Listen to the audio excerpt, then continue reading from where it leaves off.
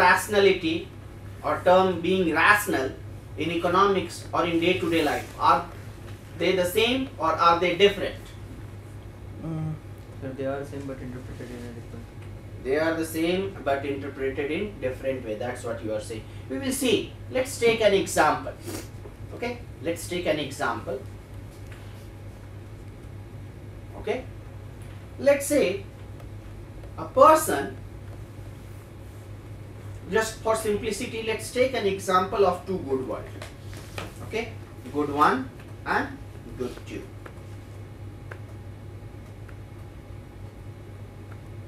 Good two. Fine? And let's say you are already familiar with this re- relation. What does it mean? Is at least as good as or at least as preferred as. Hmm. that's what it means. This is a relation.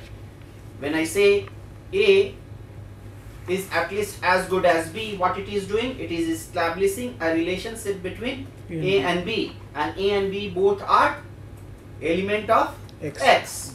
That's why this relationship is defined on x. So now let's say this is this person has little bit a strange kind of preference. What he does when we have two good word what does it mean? That it has let's say a1 and a2 Hmm. a1 represents the amount of good one and a2 represents amount of Good. good two. And here b1 and b2 and let's say just for definition sake i am talking about a specific individual. What he has that if a1 plus a2 is less than or equal to b1 plus b2 then he prefers then he says that a is at least as good as b so what he cares about, he doesn't care about good one and good two individually. He cares about the sum of good one and good two that he has. And also, not only that, also less he has, more he likes that bundle. Now let's check. Would you call this person in a way I am saying, let's say good one is cloth and good two is Food. food. Or earlier convention we were using good one as food and good two as cloth. So let's stick to that. Good one is food and good two is cloth. Let's take two bundles. 2 comma 2 and 3 comma 3 what it means? 2 units of food and 2 units of cloth. And it means 3 units of food and 3 units of cloths if we are talking about a person whose preference is just described by me which one do you think he would prefer? You prefer 2 comma 2.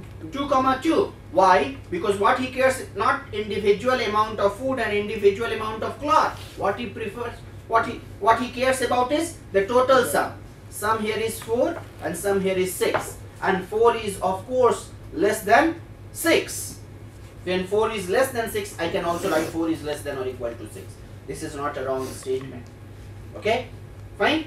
So what it means? That 2 plus 2 is at least as preferred as 3 comma 3. 3 comma 3 fine? Now let's look at it. Does it satisfy all the assumptions? The three assumption rationality assumption that we have described. Let's check for completeness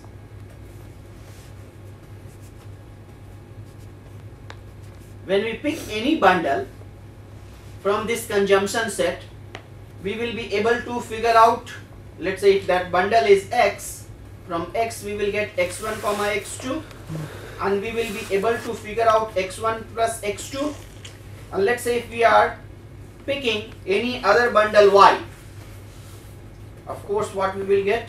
Y1 comma y2 Mm. and again we will be able to figure out y1 plus y2 and there are one of these three possibilities. Either x1 plus x2 is greater than y1 plus y2 or it is less than y1 plus y2 or Equals to. it is equal to.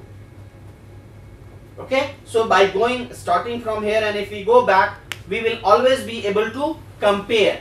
So it satisfies Completeness. completeness. How about reflexivity Satisfy. it satisfies. X1 plus x2 is at least is greater than or equal to x1 plus x2 this is not wrong. Hmm. it doesn't preclude the scenario when x1 plus x2 is equal to x1 plus x2 okay? So this is also satisfied. It means reflexivity is satisfied. Are you with me? And when we take three bundle x comma y comma z okay when x1 plus x2 is greater than or equal to y1 plus y2 and let's say y1 plus y2 is greater than or equal to z1 plus z2 what we will be able to figure out that x1 plus x2 is able to is greater than or equal to z1 plus z2 so what does the first one say? It says that y is at least as good as X. x. And the second one it says z is at least as good as y. So by combining these two we should get z is at least as good as X. x. and that's what we are getting from here. So it satisfies transitivity. So by our definition this person has rational preferences or this person is rational.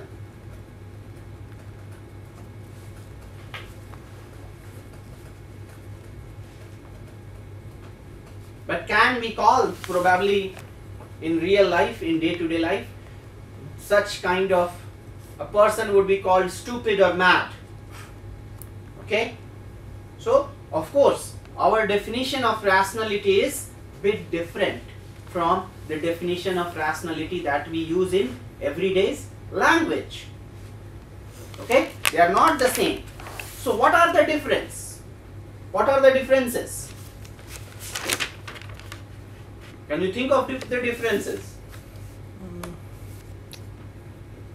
So the completeness definition of rationality here does not match with the rationality there. Like if there we are saying that something is related to something in, a, in one way, it is there in one way, but here it is defined in three ways.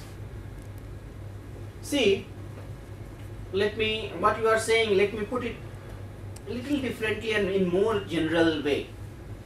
What we have is that when we say in in everyday's language that someone is rational, what we are talking about that the person has sound choice. Okay? And sound choice from where it is coming one can interpolate and say it's coming from sound preferences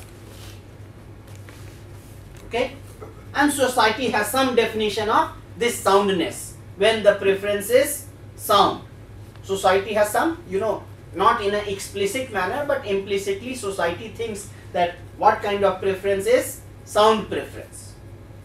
Fine? So and the second that this sound preference should lead to good judgment.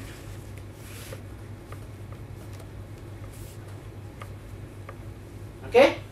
Fine? What in economics say it's language in economics here we do not care about the soundness of